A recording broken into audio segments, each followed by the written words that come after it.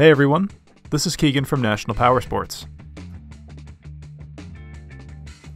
This 2019 Harley-Davidson Street Glide Special with 4,051 miles passes New Hampshire State inspection and runs well. It's been upgraded with a Klock Werks windshield, grips, taller handlebars, short antenna, and slip-on mufflers. The ever-popular hot rod-inspired Street Glide turns heads and can go the distance without any unnecessary frills or distractions.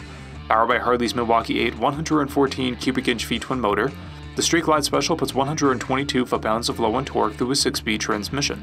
It weighs in at 798 pounds and has a 26.1 inch seat height. To see everything we know about this vehicle, including full mechanical and cosmetic condition reports, the service repair order, high resolution photos, and more, please review the listing on our website. We have also purchased the CycleCheck's Vehicle History Report. You can view this report by clicking the link on the right side of the video.